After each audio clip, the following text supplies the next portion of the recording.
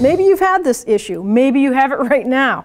It's not uncommon. It's very common in the industry to see cars not have all the speeds on the blow motor. And a lot of people don't realize they say, oh, I have no heat, I have no heat. Well, that's why I always say to my customer, do you have heat or do you have a blower motor? Do you have air coming out of the vents?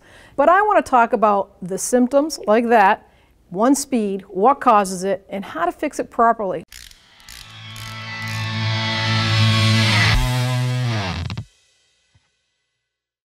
All right, so now you know you have a blow motor problem, right? You think you have a blow motor problem. No air coming out of the vents except for maybe one speed. Well, I'm here to tell you about a resistor.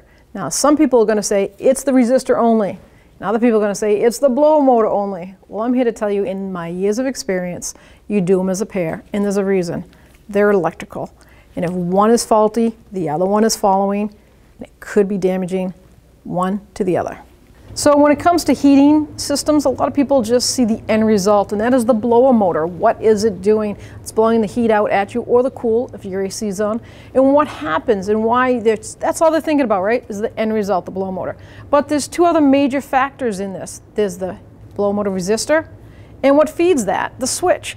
So if you just keep replacing a blow motor, blow motor, or just keep replacing the resistor by itself, you're not doing the whole system justice. The switch 90% of the time is never going to fail. A resistor takes the voltage from the demand, which is the switch, and it takes it, say you have 12 volts in that motor, to get a lower voltage, needs a lower amperage. So that's where the resistor comes in. It's in its word, the name of it, right? It resists power going through it. So it stops the amount of voltage or amperage going to that blow motor, so it's a softer airflow. And the higher the amperage, the more airflow. So this is going to break down so fast from all that voltage change. The motor only has one speed, but it's how much amperage goes to it is how much it lets air out. So this is a common failure, but that motor will burn out just as fast as this does. And if you just keep replacing the resistor, you're going to get melted connectors.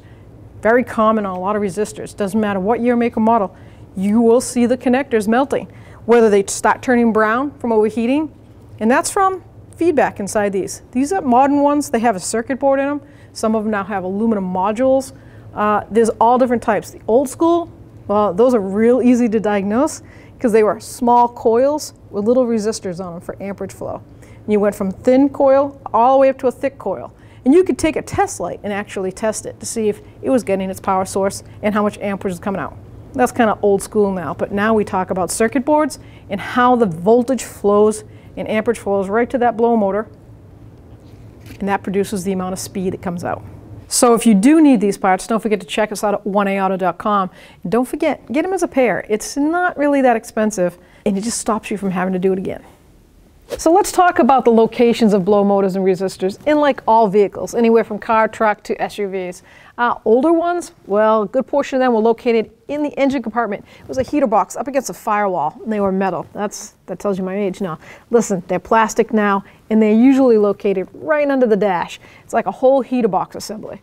So right over there under the passenger side is where you're going to find probably a good portion of the blow motor and the resistor. Some of them are side by side, sometimes the resistor is further away. Just look for the four wires or six wires, a little square plug and it's going to feed the two wires going into that blow motor. Now, some European cars, some without saying, you have to take the whole cowl off just to get to the blow motor. It's a dual blow motor. It's about this big. Wiper transmission comes out, heater firewall, whole box comes out. It's a job. So if you're asking how difficult it is, it does depend on the kind of car you have. It can go anywhere from 1 to 10. All depends on what you're driving. All right, so now comes the fun part. We're going to do the repair. Well, we're going to do the diagnosing part and the repair at the same time. We're going to get a test light, check for power going to that resistor from that switch and to the blow motor and see what kind of parts we need to purchase from 1A. Let's do it. All right, so I'm over here on the passenger floor. I have my little test light and I'm going to check for power and ground at the blow motor first. So key on, not running, and I'm going to go to the first notch of speed, which we're getting nothing from the blow motor. So right now, with nothing on, I've got a two wire system here. If I back probe either one, I've got 12.1 volts. And then on the other one, I should have nothing. Yep, I've got zero. So, actually I got 12.1, and 12.1. Haha. So as senior tech, I'm going to tell you that that's right there is a problem. We have cross power somewhere. So you should have ground on one side, power on the other, and then different amperage as you turn that switch. But right now I'm going to go for the step one. We're going to put it in first mode. Let's see what we have for any voltage down here at this blow motor. So this first speed, 12.1, 12.1. Next speed, 12.1, 12.1. Now this is the speed it works on, right? The highest speed. All right, highest speed, only speed it works on. There's my ground, and there's my battery voltage. So I'm only have a ground on high speed. So now we're gonna shut it off. We're gonna take that resistor and let's check out the resistor. All right, wow. Look at that resistor. That is cooked. Look at all that circuit board. She's cooked, melted right down. There's not much left of that. You can still see the circuit board underneath, right? So this resistor, way too much heat, just took overall a couple of years and damaged itself. And this thing could be burnt out. And the reason why is because the actual electrical motor on the blow motor is sending back too much current. And then here's the connector side. Look at the corrosion, how, how it wicked itself right through. So what happens is when it wicks it through like that, of course, it's going to wick right into that harness.